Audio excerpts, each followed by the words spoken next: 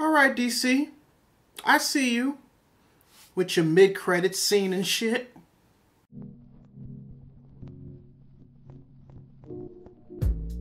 Today on Readus Reviews, I review Teen Titans Go! To the movies. And the movie pretty much follows the Teen Titans as they currently exist in trying to prove to the big leagues that they're just as like serious enough to be made into a movie as like the likes of Batman, Superman, Green Lantern, and Wonder Woman. Part of that means they have to have an arch nemesis. In comes Slade. And through various hijinks throughout the movie, the Teen Titans pretty much fight Slade in order to prove to everybody that they're like superhero material, like legitimately superhero material, and not just, you know, jokes. Which means they have their work cut out for them. So as far as the story is concerned, I immediately acknowledge that this was a parody movie from the get-go. But it's a parody movie with the plot of the movie adaptation of Josie and the Pussycats, and it works.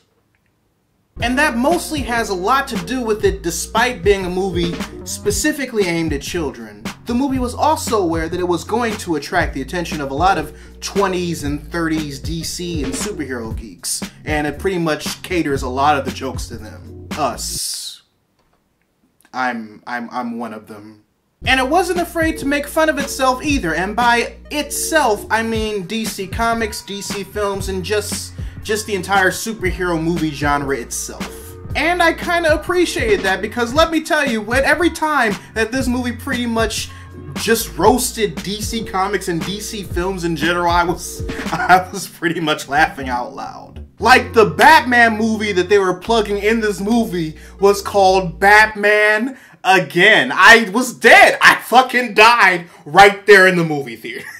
so with that being said, let's talk about some of the characters that stood out to me the most, starting with the Josie of this movie, Robin. Now, in order for the plot and the overall moral of the movie to actually work, uh, the centerpiece had to be Robin. Not necessarily because he's the leader of the Titans, but mostly because out of all the Titans, he's the one that's immediately connected to one of the bigger heroes of DC. Which means that he wants to be more in the limelight, he's the one that wants to get out of Batman's shadow and be on par with him. And the rest of the Teen Titans pretty much help him live his dream because giving your love and support to friends is something that friends do. And that's a moral, that's a side moral that this movie does a good job at teaching as well. They also take into consideration how Robin is portrayed in Teen Titans Go, and it translates well and it helps with the overall pacing and exactly everything that you're trying to accomplish on screen given how the plot is and how the character is. And it worked pretty well. And when it came to Slade, I never would have imagined that I would enjoy Will Arnett voicing Deathstroke until I saw this movie. And that's that that's that's honestly pretty much it.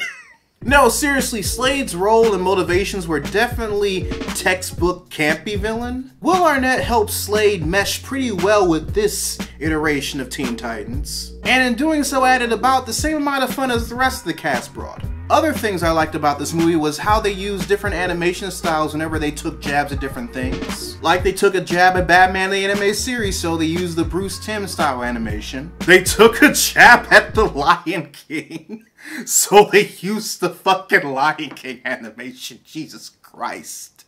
And out of all the fights with Slade, I would have to say that my favorite one was their like first fight slash second meeting with Slade. Not only did the Titans show off their team dynamic like extra hard in that fight, but it was also one of the most on par with other superhero team fights in like TV that Teen Titans Go in my opinion, has ever produced since they became like a full-fledged TV show.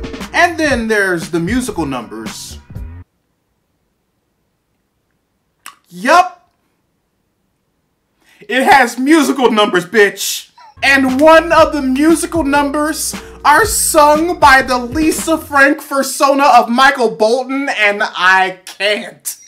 And while I definitely walked into this movie theater knowing good and damn well what to expect, if I have to nitpick, I would say that my one dislike about this movie is just how abrupt the ending was which was pretty much one of the main jokes that didn't necessarily land with me because it was their attempt at make taking a jab at how like abrupt endings are in like superhero movies and movies in general. But that's not really fair considering that a lot of superhero movies and like regular ass movies nowadays has like proper resolution and shit when it comes to them wrapping up plots. But with that being said, readers, overall, Teen Titans Go to the movies was fun.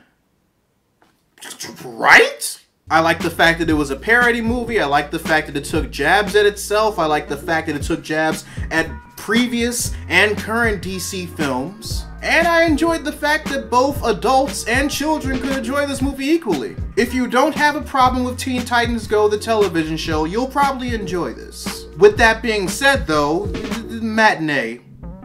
Matinee. Matinee. Matinee. Anyway, readers, your homework assignment for the day. Write in the comment section below what you thought of Teen Titans Go to the movies if you see I don't even know why I have to say it. Half y'all ain't going to see this shit.